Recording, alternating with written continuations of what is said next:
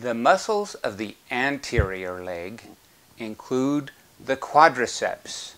The quadriceps are the four muscles of the proximal leg. Okay, the first of the quadricep of the four quadricep muscles is the rectus femoris coming right down the center. On the lateral side, we have vastus lateralis.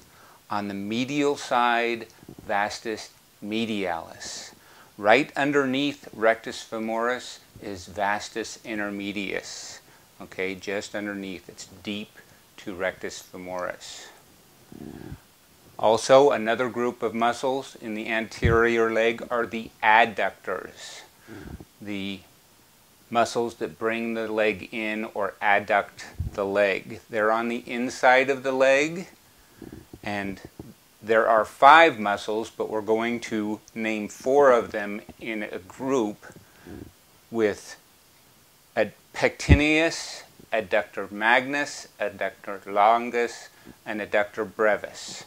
Those are the four that we're going to name for the adductors. Another adductor, part of the adductors, but we're going to have it all by itself, is gracilis. Gracilis is defined by its connection to the pubis coming down to the medial tibia. Okay? Another muscle on the anterior leg is sartorius. Sartorius is notorious for being the longest muscle of the body. It starts at the anterior superior iliac spine, comes all the way across, very close to where gracilis ends up on the medial uh, tibia. Distally, the distal leg bone that you need to know is tibialis anterior. It's just lateral to the shin bone or the tibia, tibialis anterior. Those are the muscles you need to know for the anterior leg. The coloring book is another resource that you're going to use to learn the anatomy for circulatory massage. Here are the specific pages that you need to go over for this section.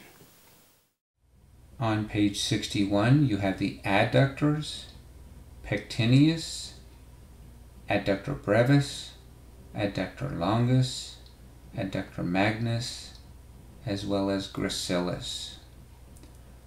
On page 62, you have sartorius and the quadriceps, rectus femoris, vastus lateralis, vastus medialis, and vastus intermedius. On page 63, you have tibialis anterior. The four quadricep muscles are rectus femoris, vastus intermedius, vastus lateralis, and vastus medialis. The four muscles that adduct the leg are pectineus, adductor brevis, adductor longus, and adductor magnus. The muscle that begins at the pubis and inserts onto the tibia is gracilis. The muscle that begins at the anterior superior iliac spine and inserts onto the tibia is sartorius. The muscle just lateral to the shin bone is tibialis anterior. At Healing Hands, we have created this practice guide to help you learn the anatomy for the circulatory class. It is available for download in the Study Resources section of this page. Keep in mind that this is a new language, and just like learning a musical instrument, the more you practice, the more fluent you are. There is space for you to write the answer for each part of anatomy that you need to learn. Remember, write it down, copy it, and copy it again.